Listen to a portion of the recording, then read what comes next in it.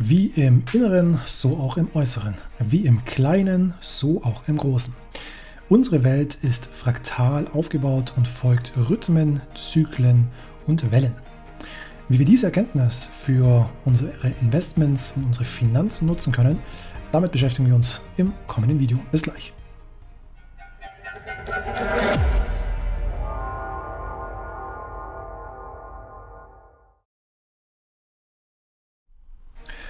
So meine Lieben, herzlich willkommen wieder zu einem neuen Video hier auf unserem Kanal. Heute geht es mal um das Thema Blumenkohl und Brokkoli. Nein, Quatsch, natürlich nicht. Ähm, das könnte man jetzt meinen, wenn man dieses Bild hier sieht, aber es hat tatsächlich einen finanzmathematischen Hintergrund. Ich möchte mit euch heute das Thema Fraktalanalyse einmal besprechen. Unsere Welt ist fraktal aufgebaut. Ähm, das bedeutet im Endeffekt, dass sie ja, gewissen Mustern folgt, also sprich, dass unsere Schöpfung auch auf Mathematik basiert.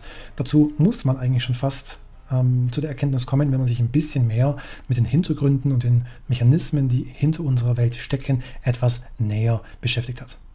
Diese sogenannte Fraktalität ist nahezu überall festzustellen, wenn man ein bisschen genauer hinguckt. In der Natur, in mathematischen Gesetzen, im menschlichen Körper und so weiter und so fort. Und wir werden uns heute das mal ein bisschen genauer angucken. Für diejenigen, die sich unter dem Thema Fraktalität ähm, noch nicht genug vorstellen können, deswegen heute eben das Bild von dem Romanesco ähm. Warum? Weil das Fraktalmuster eines Romanesco-Brokkolis am klarsten ist oder am einfachsten nachvollziehbar ist. Das bedeutet nämlich im Endeffekt, dass diese Brokkoli-Rose so aufgebaut ist, dass die große Rose wiederum aufgeteilt ist in viele kleine Rosen und die kleinen Rosen genauso aussehen wie das größere. Und deswegen habe ich auch schon im Intro gesagt, was im Kleinen gilt, gilt genauso wie im Großen. Was im Inneren gilt, gilt auch im Äußeren. Zum Beispiel ähm, eine nächste Sache ist der Umstand, dass ja unser Planet Erde etwa zu 80 bis 85 Prozent aus Wasser besteht. Ja? Und auch wenn man das jetzt als Makroorganismus ansieht, also die Erde als Makroorganismus, die Mikro äh, kosmischen Lebewesen, also wir zum Beispiel, der Mensch, ebenso zu 80 bis 85 Prozent aus Wasser bestehen, wie im Kleinen, so auch im Großen, wie im Inneren, so im Äußeren. Wichtig an dieser Stelle noch zu erwähnen ist die Tatsache, dass diese Fraktalmuster eben in Rhythmen, Zyklen und Wellen stattfinden. Das können wir an anderer Stelle beobachten. Tag- und Nachtzyklus, die Jahreszeiten, Ebbe und Flut. Da ließen sich noch ganz, ganz viele weitere Beispiele eben aufzählen. Wichtig ist eben nur, dass bedingt durch die Fraktalanalyse oder die Beobachtung, die Fraktalanalyse uns beschert, die Erkenntnisse, die sie uns beschert, ähm, wir Muster herausfinden können, wir Muster beobachten können, die uns dazu befähigen, gewisse Entwicklungen antizipieren zu können, weil wir eben das beobachtete Muster in die Zukunft fortschreiben können. Jetzt kommt natürlich noch mit dazu, dass diese Fraktalanalyse nicht nur bei physischen Dingen zu beobachten ist, wie zum Beispiel der Natur, sondern dass diese auch sehr gut auf abstrakte Themen wie das Thema Finanzen übertragen werden kann. Und wie das aussehen könnte, werden wir uns im nächsten Abschnitt etwas genauer angucken. Als allererstes möchte ich euch mit dem Thema Elliott Waves vertraut machen. Elliot ähm, war ein, man könnte sagen, Wissenschaftler, der sich eben mit dem Thema Fraktalität bzw. fraktaler Aufbau von Kursen, also von Preischarts beschäftigt hat. Und er hat ähm, eben festgestellt, dass sehr oft ein Trend sich in einer fünfteiligen fraktalen Struktur befindet, beziehungsweise dieser sich fünfteilig und fraktal aufbaut. Was bedeutet das jetzt nun konkret? Wir haben hier mal eine theoretische Entwicklung eines Charts. So. Und bei diesem ist sehr oft zu beobachten, wenn wir uns in einem Aufwärtstrend bewegen, dass diese Aufwärtstendenz fünfteilig eben besteht. Das heißt, wir haben hier einen großen Anstieg, das ist dieser, der mit Nummer 1 ähm, gekennzeichnet wird. Dann gibt es meistens eine Gegenreaktion, die aber nicht so tief ausfällt wie das letzte Tief, also die etwa hier, ähm, sagen wir mal, bis zur Hälfte dann geht. Dann kommt eine weitere große Welle nach oben, die das letzte Hoch der Welle 1 übersteigt. Dann kommt eine weitere Korrektur, die aber ebenfalls nicht so stark korrigiert wie die Korrektur der Welle 2. Und zu guter Letzt gibt es noch eine letzte äh, Aufwärtsbewegung, die in der Regel weit über das letzte Hoch der Welle 3 extendiert, die also in der Regel am stärksten ist. So.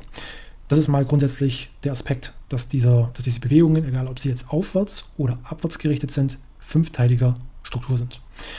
Was bedeutet jetzt nun fraktal? Fraktal bedeutet, dass wenn wir uns diese eine Bewegung anschauen und wir etwas hineinzoomen, dann werden wir beobachten, dass diese Bewegung ebenfalls fünfteilig vonstatten geht. Das heißt 1, 2, 3, 4, 5 mit den genau gleichen Voraussetzungen, dass das Hoch der Welle 3 höher ist als das Hoch der Welle 1 und das Hoch der Welle 5 höher ist als das der Welle 3 und die Welle 5 sich auch immer am stärksten ausprägt und das Tief der Welle 4, die korrektive ähm, Welle, ähm, nicht so tief ist wie das Tief der korrektiven Welle Nummer 2. Und jetzt gehen wir nochmal eine Ebene tiefer und sehen hier, indem wir noch weiter reinscrollen, dass wenn wir hier die erste Welle uns angucken, von diesem übergeordneten Chart, dass wiederum die fünfteilige Struktur genauso abläuft. Mit 1, 2, 3, 4, 5 und genau die gleichen Kriterien hier auf der kleinsten Ebene zu beobachten sind, genauso wie auf der größten Ebene.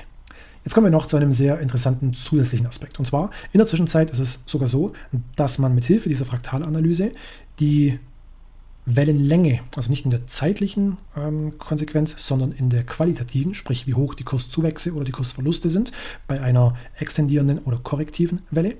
Ähm, und das geht über die sogenannte Fibonacci-Zahlenfolge. Das heißt, man kann über eine gewisse Zahlenfolge eben sehr, sehr gut prognostizieren, wie weit diese zweite Welle zum Beispiel hier nach unten geht, wie weit die dritte Welle nach oben geht, die vierte wieder nach unten und die fünfte nach oben. So, und hier kommen wir zu den sogenannten Fibonacci-Zahlenfolgen oder hier die Fibonacci-Spirale auch genannt. Das ist eine Zahlenfolge, die wiederum sehr gut in der Natur beobachtet werden kann.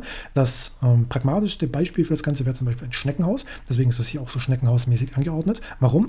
Weil die Verhältnisse dieser Zahlenmuster eben in einem Schneckenhaus eins zu eins abgebildet werden. Warum?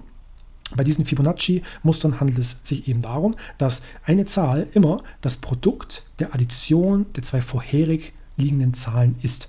Machen wir hier einfach mal ein ganz normales Beispiel. 2 ist gleich 1 plus 1.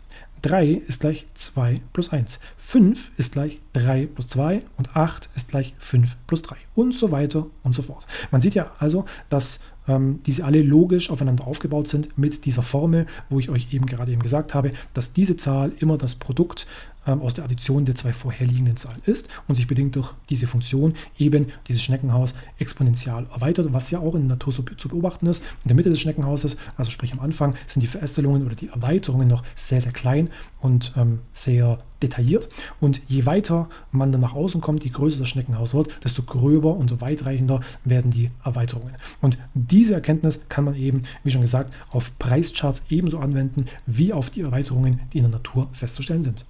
Um euch nun einen kleinen Einblick zu geben, wie das in der Praxis aussieht, habe ich für euch mal eine grobe Einzeichnung der Fraktalanalyse für den Bitcoin-Chart erstellt. Und zwar ist es so, dass wir hier jetzt erstmal nur die übergeordnete Wellenzählung uns angucken, also in einem sehr großen Maßstab uns das angucken. Warum? Weil je weiter wir herauszoomen, je, je mehr wir in den Überblick gehen und je weniger wir in dem Detail sind, desto höher ist die Voraussagekraft der LED Waves und der Fraktalanalyse. Warum? Weil auf lange Sicht kurzfristige Über- oder Untertreibungen in den Charts nicht ins Gewicht fallen, sondern dies nur auf kleinen Zeitebenen tun. Zum Beispiel, ähm, wenn Panik an den Märkten ist oder Euphorie, dann kann es mal kurzfristig zu Übertreibungen kommen, die dafür sorgen, dass die kurzfristige Vorhersagbarkeit über die Elliott Waves leidet.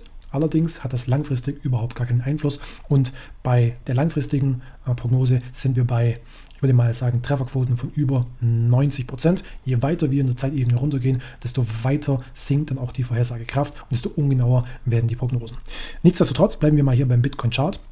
Die Grundaussage ist die, dass, wenn wir uns diesen Chart angucken, die erste Welle eben ähm, hier ähm, Ende 2017 gestartet hat und ihr Ende im Bullenmarkt 2021 gefunden hat.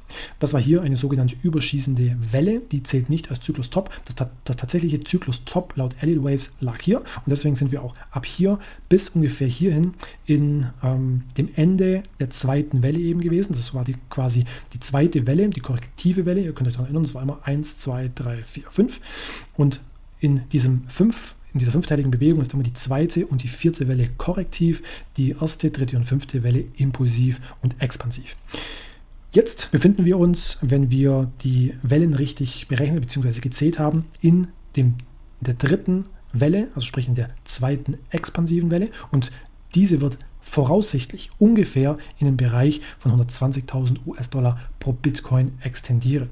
Das heißt, hier irgendwo wird sich eine große Trendwende ankündigen, die dafür sorgt, dass die vierte Welle, also sprich die zweite korrektive Welle, eingeleitet wird und der Bitcoin bis ungefähr auf 50.000 wieder korrigieren sollte, bevor er schlussendlich um diese Wellenbewegung oder um diesen Zyklus, diesen großen Zyklus abzuschließen, dann irgendwann einmal bei ungefähr 200.000 US-Dollar enden sollte. Das sind aber wie gesagt alles nur grobe Richtwerte. Das kann ähm, auch mal höher werden, das kann ein bisschen niedriger werden, aber ungefähr in diesen, in diesen Bereichen könnt ihr euch orientieren und daran auch euer langfristiges Handeln eben ausrichten.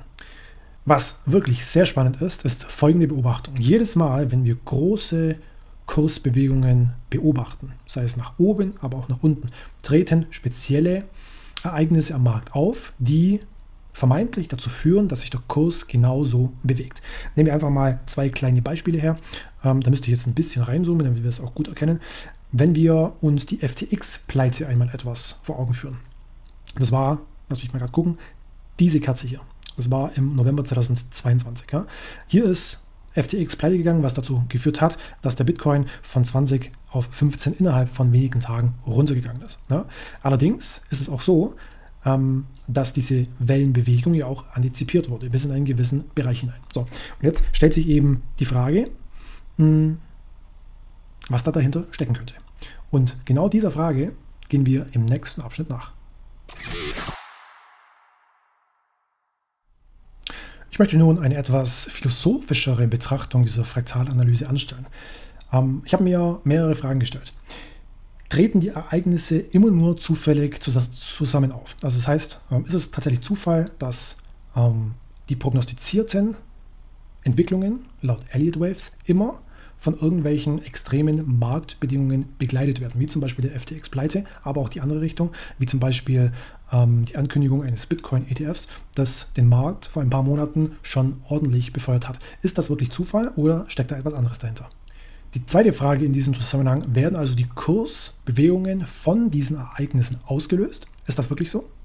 Die dritte Frage, wie kann es sein, dass diese Prognose und dass diese Analyse über die Fraktalanalyse und der Elliott Waves so akkurat ist und diese Kursbereiche auch immer wieder trifft, obwohl diese Ereignisse, die dazu führen, dass die Kurse so intensiv reagieren, überhaupt nicht in der Fraktalanalyse berücksichtigt werden und auch gar nicht berücksichtigt werden können.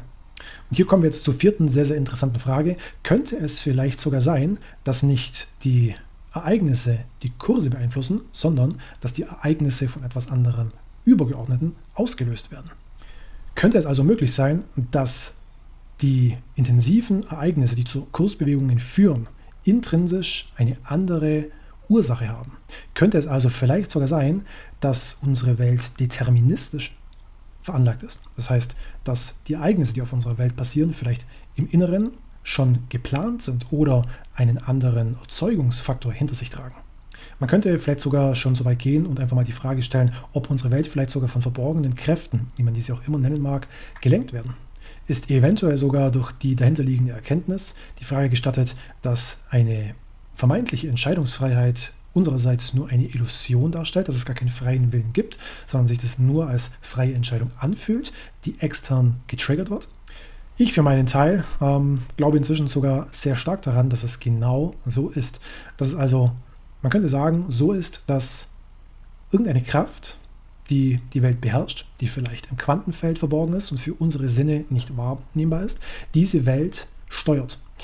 Und dass im Endeffekt die Ereignisse, die immer wieder als zufällige Ereignisse dargestellt werden, wie zum Beispiel eine Pleite von einer Börse oder einem zufälligen großen Engagement von irgendeinem Investor, dass diese Ereignisse nicht vorausgesagt werden können oder vielleicht doch wieder vorausgesagt werden können, weil die Rhythmen, Zyklen und Wellen, die unsere Welt antreiben, immer wieder diese Ereignisse antizipieren oder vielleicht sogar antizipieren müssen. Für mich eine sehr, sehr interessante Perspektive auf das Ganze mal zu schauen. Ähm, das würde das Ganze auch tatsächlich um einiges erklärbarer machen und für mich macht das auf alle Fälle wesentlich mehr Sinn, als nur von irgendwelchen Zufällen auszugehen. Mich würde mal interessieren, was ihr dazu denkt, wie da eure Gedanken zu dem Ganzen sind, ob ihr glaubt, dass es tatsächlich alles nur Zufälle sind oder ob ihr vielleicht ebenfalls glaubt, genauso wie ich, dass die Rhythmen, Zyklen und Wellen, die hinter unserer Welt stecken, die im Verborgenen liegen, mehr Einfluss auf uns haben, als wir uns alle eingestehen wollen. Ich kann für meinen Teil nur das zusammenfassen und schlussfolgern, dass die Fraktalanalyse eine meiner liebsten Aspekte der technischen Analyse ist. Warum? Weil sie sehr, sehr eindeutig auf den Gesetzmäßigkeiten unserer Welt, eben der Natur und der Mathematik, basiert und auch was die Trefferwahrscheinlichkeit angeht, eigentlich nur bestätigt, dass irgendein intrinsischer Mechanismus, der unsere Welt beherrscht, gefunden wurde, verstanden wurde und auch somit präzise angewendet werden kann. Was mich einfach überzeugt, ist die Tatsache, dass diese Gesetze und diese Vorhersagemuster überall auf der Welt angewendet werden können und sogar in sehr abstrakten Bereichen wie das Thema Finanzen, wobei, wobei wir hier vielleicht sogar noch zugestehen müssen, dass es eigentlich total Sinn macht, dass gerade ähm, Kryptowährungen oder Charts und Preise von Kryptowährungen damit sehr gut vorausgesagt werden können, weil ähm, das Ganze ja eindeutig auf Mathematik basiert, auf Coding, auf ähm, mathematischen Gesetzen, die im Coding auch ebenfalls Berücksichtigung finden und das Schlussfolgerichtige eigentlich genauso sein muss. Ich nutze natürlich nicht nur die LED Waves, sondern auch ganz, ganz viele andere verschiedene technische Indikatoren und andere Möglichkeiten, um eben die Kurse möglichst gut, zumindest langfristig voraussagen zu können. Wenn ihr Interesse daran hättet, das ebenfalls zu lernen, dann kommt gerne mal auf unsere Community-Homepage financial-insider.net. Dort gibt es einiges an Wissenspaketen, die ihr euch holen könnt, um eben ähm, die Fähigkeit für euch zu erlangen, so eine technische Analyse für euch zu erstellen, was dann dazu führt, dass ihr natürlich wesentlich einfacher im ganzen Markt operieren könnt. Es wird sich immer langfristig enorm auszahlen, wenn ihr in eure eigene Wissensbildung investiert. Und jetzt stellt euch einfach mal nur vor, wie es wäre, wenn ihr investiert und ihr wüsstet schon ungefähr die Richtung und das langfristige Auskommen eurer Investition. Wäre es dann einfach, eure Strategien, die ihr euch vorher zurechtgelegt habt, beizubehalten, weil ihr ganz genau wisst, dass zu einem gewissen Zeitpunkt gewisse Entwicklungen vorkommen? Ich denke schon. Und das ist auf alle Fälle sehr, sehr viel wert. Ich merke das immer wieder an mir, wie viel Sicherheit mir die Fraktalanalyse gibt. Selbst wenn es mal am Markt hektische Zeiten sind, die mich verunsichern oder verunsichern könnten, dann besinne ich mich immer wieder und frage mich, hat sich an der fraktalen Situation irgendwas verändert? Und wenn dem nicht so ist, und das kann es auch überhaupt nicht, weil diese Fraktalanalyse so langfristig und so stabil ist, dass sich dann in den seltensten Fällen äh, auch nur irgendwas ändert, zumindest auf größeren Zeitebenen. Auf kleineren Zeitebenen ist es nochmal was anderes. Dann muss ich einfach feststellen, dass das wirklich eine sehr, sehr gute Investition war, mich mit diesem Thema auseinanderzusetzen, mich näher in die Materie einzuarbeiten. Und es gibt mir so einen großen Mehrwert, dass ich euch nur empfehlen kann, ebenfalls in dieses Thema hineinzuschnuppern. Gut, das soll es an dieser Stelle gewesen sein. Heute mal wieder ein etwas anderes Video, wo es mehr um das Thema Wissen geht, wo es mehr um das Thema finanzielle Festigung geht, dass ihr wirklich langfristig in diesem Space ähm, unterwegs sein könnt und auch erfolgreich sein könnt. Nicht nur was das Thema Kryptowährungen angeht, sondern auch im Endeffekt alle anderen ähm, Märkte, ob das jetzt Aktien, Rohstoffe oder sonst irgendwas ist. Wenn euch das Video gefallen hat, lasst gerne einen Daumen hoch da, abonniert diesen Kanal, wenn ihr heute zum ersten Mal zugeguckt habt, weitere Videos folgen und sage ich vielen Dank für eure Aufmerksamkeit und bis zum nächsten Mal. Ciao.